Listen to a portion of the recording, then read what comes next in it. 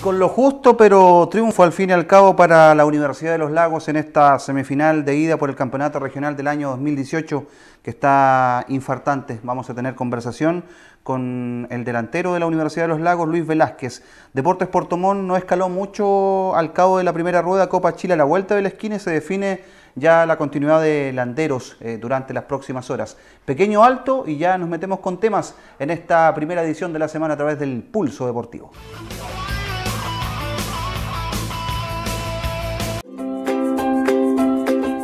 Bueno, nosotros contamos con ventas al por mayor para los supermercados de barrio, para la gente que necesita cosas pequeñas, que quiere armar su negocio por primera vez, tiene todo lo que necesita al precio más conveniente. Aquí contamos con artículos de oficina como archivadores, corteras, perforadoras, tienes todo el set completo para armar tu oficina. También tienes pinturas, acrílicos, pinceles, tienen pinturas para tela. Este año llegó una gran variedad de cuadernos, tienes todos los diseños que necesitas, tienes el silabario, atlas, diccionarios, todo, todo, todo lo que necesitas para armar tu lista completa. Lo pueden encontrar aquí en mi librería con venta al por mayor y al detalle. Mi librería cuenta con cuatro sucursales, contando esta en todo Puerto Montt la puedes encontrar dos en Calle Vara y en Egaña, donde puedes encontrar toda esta cantidad de artículos y todo lo que necesitas aquí en mi librería.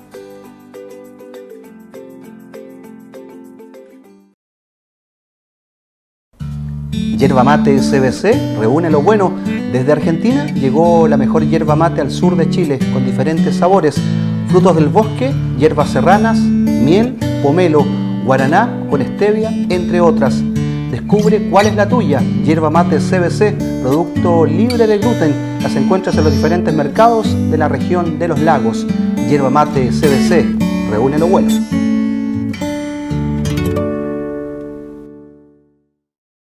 Porque te preocupas de las ventas, de tus clientes y también de tus trabajadores, eres de los que están en todas. Y en BTR Negocios te entregamos las herramientas para que sigas avanzando. Para que estés más conectado, Internet Mega 400 más dos líneas telefónicas. Y además te entregamos un call center exclusivo y servicio técnico express que va a tu negocio dentro de 8 horas hábiles. Contrata el doble pack Negocios Conectado Full a 39,990 pesos por 6 meses. BTR Negocios, vívelo hoy.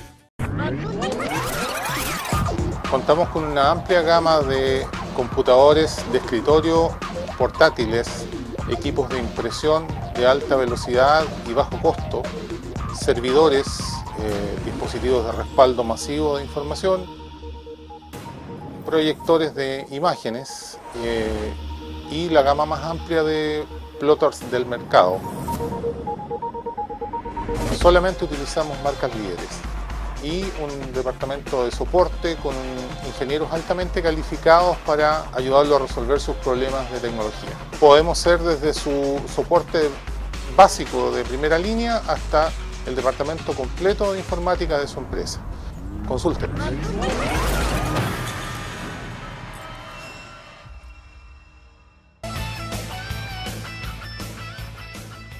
Y como de costumbre, antes de presentar a nuestro gran invitado, de Argentina al sur de nuestro país, los mejores sabores. Yerba mate con sabores, guaraná, pomelo, frutos del bosque, serranas. CBC, yerba mate con sabor, vive intensamente tu día y recargado en este otoño-invierno 2018 junto a CBC. Luis Velázquez, delantero de la Universidad de los Lagos, costó, se ganó, viajan con una ventaja el próximo día domingo frente al Sergio Livingston de Ragua que complicó la tarea en distintos aspectos. Ya lo vamos a conversar, pero desde todo punto de vista se valoró y bastante el triunfo, ¿no?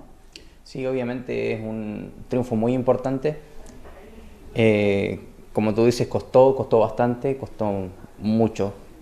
Eh, fue un partido apretado, difícil en varios tramos del, del mismo pero lo importante es que pudimos sacar el triunfo adelante y es un resultado que nos ayuda un poco para el partido ya en Rahue. Lucho, si uno por ejemplo hace un análisis general del compromiso, perfectamente ustedes pueden anotar más goles durante el arranque del compromiso, de ahí como que se, como que se trabó un poco, cayeron en el juego de ellos, ellos incluso perfectamente también pudieron ganar el compromiso en el minuto 90, antes del penal y lo que ocurre después en la última jugada con el gol olímpico evidentemente es para, es para, para enmarcarlo y sacado prácticamente de, de cualquier película, ¿no? Sí, obviamente lo que pasó al final, ese gol olímpico que saca el Pini Masner, eh, nadie, nadie lo pensaba que podía llegar a pasar. Pero sí, yo creo que caímos en el juego de ellos un poco. Yo creo que las expulsiones para ambos equipos también se notaron. En nosotros, sobre todo porque nos bajó un poco el poder ofensivo que tenemos. Obviamente nos quita un delantero que, con el cambio que tuvo que hacer el profe. Y sí, varios goles pudimos haber hecho, así como también ellos, tal como lo dices tú. Y nada, eh, lo bueno es que se nos dio el triunfo y eso es lo importante. Sí, lo que dice Luis tiene muchísima razón porque al quedar con 10 hombres la Universidad de los Lagos evidentemente tiene que sacrificar a un delantero, en este caso a Matías Leiva, meter un defensa, jugar con línea de tres y definitivamente reformular un poco con respecto a la idea que tiene el técnico Mario Cárcamo. Lo cierto es que fue un partido ida y vuelta con características muy distintas los dos equipos. La ULA un equipo que, tiene buen trato de la pelota, que tiene el deseo de jugar en calidad de, local y el otro equipo como que espera un, un poquito, pero los dos con las mismas pretensiones, ¿no? con el mismo propósito de avanzar.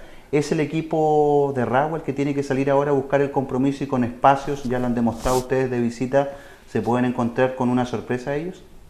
Eh, sí, obviamente ellos tienen la, necesidad de salir por el, por el resultado, por un, por un triunfo que, le, que los ayuda a llegar a la final. Pero claro, como tú dices, es un punto bien importante. Nosotros con un poco más de espacio ya podemos ser un poquito más peligrosos. Y Así que vamos a ver cómo se plantea el partido ya en, el estadio del, de Rahue y esperar que se nos den las cosas nada más como se han, se han, dado en los partidos de visita que hemos tenido antes. Arrancaste de titular, pero saliste en el segundo tiempo por cansancio, por decisión física. ¿Qué pasó? Eh, yo creo que por cansancio ya no, a estas alturas del campeonato ya no se sale. Eh, uno puede estar un poco cansado, pero pero no quiere salir de los partidos, obviamente es decisión técnica que se acepta totalmente, nunca ha habido problema con eso. Pero nada, uno siempre quiere estar, siempre quiere terminar los partidos y quiere seguir corriendo hasta la última pelota que hasta que el árbitro dé el pitazo final. ¿Y la otra llave? ¿Viste algo de comercio con, con el HUD? ¿O esto de las redes sociales nos permite estar comunicados, saber también lo que pasa en la, en la otra llave? Sí, sí se pueden ver los partidos ahora con las transmisiones que se hacen, que se agradece también a, todas, las, todas las radios y todas las emisoras que los transmiten. Uno puede ver los partidos ahora que se, que se dan allá y sí estuve viendo y partido bastante apretado, mucho, eh, hubieron varios goles también obviamente, pero, pero estuvo bien apretado, a ver que ver su partido de vuelta también no, se puede pensar en la final, Lucho, si es que no se pasa esta llave, ¿no? Sí, Tremendamente complicada, difícil. No será fácil. Sí, no, no podemos saltarnos, como se dice, al rival y ya estar pensando no, que tenemos que ver el, el rival que vamos a tener en la final, nada. Es un partido muy complicado y tenemos que ir a buscar el triunfo allá sí o sí. No es que no se sepa defender la ULA, pero me parece que tiene que salir a buscar el compromiso. Especular a esta altura de visita sería quizás eh, un gran pecado.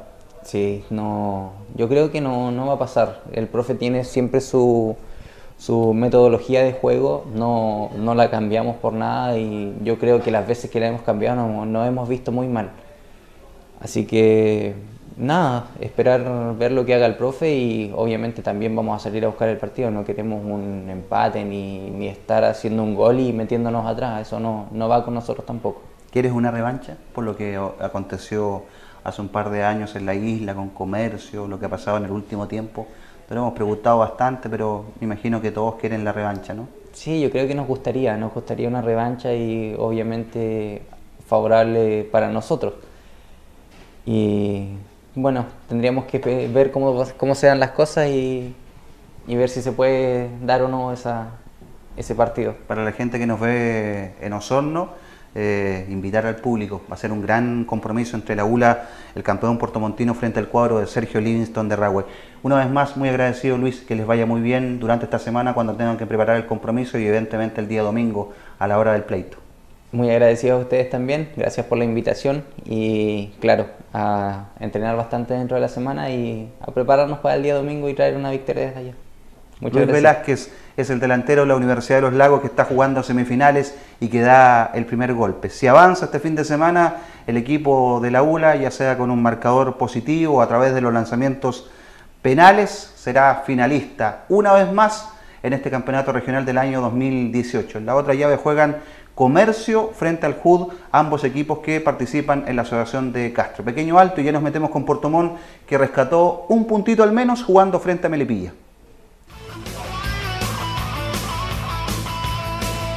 Porque te preocupas de las ventas, de tus clientes y también de tus trabajadores, eres de los que están en todas. Y en BTR Negocios te entregamos las herramientas para que sigas avanzando. Para que estés más conectado, Internet Mega 400 más dos líneas telefónicas. Y además te entregamos un call center exclusivo y servicio técnico express que va a tu negocio dentro de 8 horas hábiles. Contrata el doble pack Negocios Conectado Full a 39,990 pesos por 6 meses. BTR Negocios, vívelo hoy. Yerba Mate CBC reúne lo bueno. Desde Argentina llegó la mejor yerba mate al sur de Chile con diferentes sabores, frutos del bosque, hierbas serranas, miel, pomelo, guaraná con stevia, entre otras. Descubre cuál es la tuya. Yerba Mate CBC, producto libre de gluten. Las encuentras en los diferentes mercados de la región de los lagos. Yerba Mate CBC, reúne lo bueno.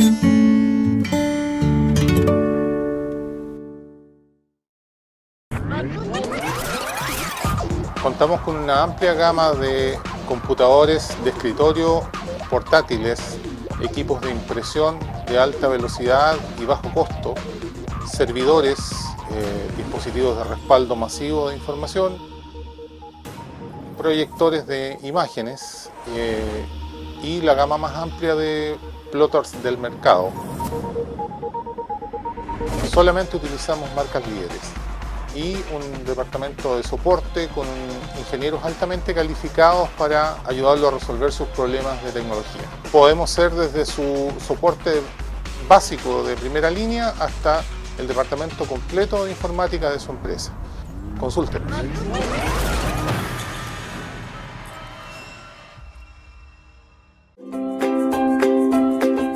Bueno, nosotros contamos con ventas al por mayor para los supermercados de barrio, para la gente que necesita cosas pequeñas, que quiere armar su negocio por primera vez, tiene todo lo que necesita al precio más conveniente. Aquí contamos con artículos de oficina como archivadores, corteras, perforadoras, tienes todo el set completo para armar tu oficina. También tienes pinturas, acrílicos, pinceles, tienen pinturas para tela. Este año llegó una gran variedad de cuadernos, tienes todos los diseños que necesitas, tienes el silabario, atlas, diccionarios, todo, todo, todo lo que necesitas para armar tu lista completa. Lo pueden encontrar aquí en mi librería con venta al por mayor y al detalle.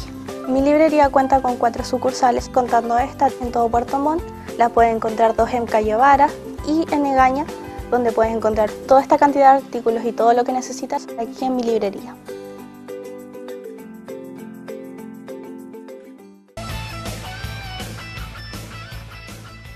Junto a Yerba Mate CBC, a esta hora en las pantallas de Vértice TV. Desde Argentina al sur de nuestro país, Yerba Mate con sabores guaraná, pomelo, frutos del bosque, serranas CBC, yerba mate con sabor, vive intensamente tu día y recargado junto a CBC. Y el tema de Portomón evidentemente da para conversar, análisis, rendimiento, lo que viene, Copa Chile, pero en el compromiso eh, de Melipilla con Portomón, varios medios de comunicación presentes, entre ellos Luis Sánchez, relator de la Cuarta Colina. Gracias Luis por estar acá y qué conclusión se puede sacar de este empate, esta igualdad 1 a 1 y lo que hace Portomón en una jornada bien bien interesante ¿no? y bien anecdótica, considerando que, por ejemplo, se queda sin arquero, ya había agotado sus cambios y termina jugando un delantero.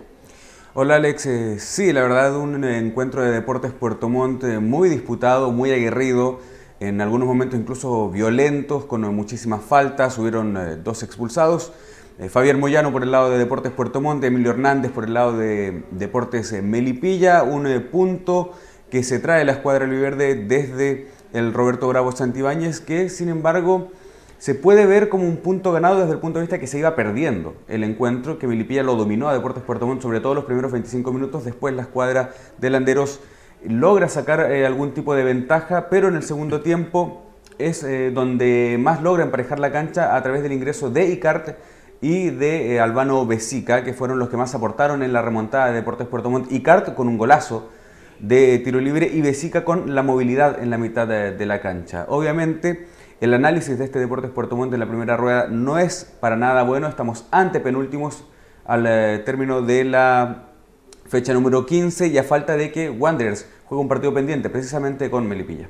Exacto, eh, pero pudo ser peor, ¿eh? porque definitivamente la tabla de posiciones todavía tiene el cuadro de San Marcos de Arica como colista absoluto de la competencia. Por lo tanto, conversando con los jugadores, a Dios gracias, existen todavía otros equipos, de lo contrario Puerto Montt sería colista de la competencia. Pero otro punto bien interesante que tiene directa relación con, una comparación, aunque dicen que las comparaciones no son buenas, Luis. Eh, el rendimiento de Luis Landeros al cabo de esta primera rueda es de un 33%, en comparación, reitero, de transición de Correa con, con un 47%, el 2016-2017 Ervin Durán, incluso peor que el de Landeros, con 31%, y el 2015-2016 mejora Durán con un 44%. Por lo tanto, desde ese punto de vista, el rendimiento no es del todo malo en relación a otros rendimientos de la primera rueda de otros técnicos también.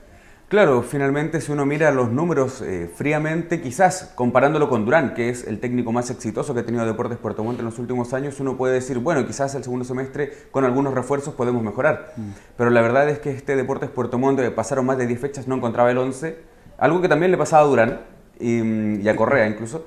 Pero eh, este Deportes Puerto Montt no se sabe a qué juega uno tiene la duda. Como que le falta una identidad. Como le falta una identidad de juego. Un sello, una impronta. Claro, quizás en algún momento con la llegada de Droguet, que se transforma en titular, y con eh, Grondona, que es el que tenía que aportar los goles, reemplazando a Guarino, que se le dieron muchísimas oportunidades y lamentablemente no las aprovechó, erró muchísimos goles. Eh, Deportes Puerto Montt mejoró, incluso tuvo una mini racha de 3-4 partidos sin perder. Pero si vamos a los números, estamos ante penúltimos, con 15 jugados, 4 ganados, 3 empatados y 8 perdidos.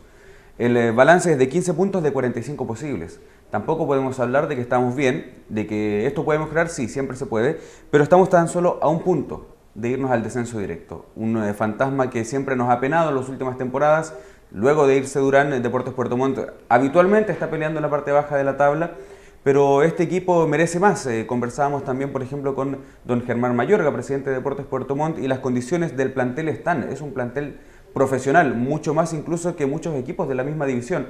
Eh, buenos hoteles, buenos lugares, buenos entrenamientos, buenas canchas, todas las condiciones están, los recursos también están, los sueldos también están al día y todas esas cosas, eh, este equipo que no ha vivido tantas penumbras como sí lo pasaron algunas temporadas anteriores, con los sueldos atrasados, con los descuentos de puntos, me parece que las condiciones se dan para que el equipo por lo menos, por lo menos esté en la mitad de la tabla.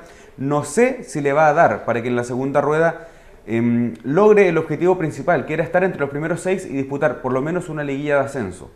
Hay equipos que están mucho más arriba, con más recursos, con más plantel, pero tampoco estamos tan lejos en puntos. Entonces se da. Como dos partidos y medio, ¿no? Claro, se da esa contradicción de que si ganas dos, tres partidos y si vuelvas a tener una racha eh, decente, puedes meterte arriba nuevamente en la disputa. Hoy día incluso leí un artículo donde se hablaba que la primera B es el torneo más parejo incluso que la primera división de nuestro fútbol. El último le puede ganar el primero y así entre, entre todos los equipos.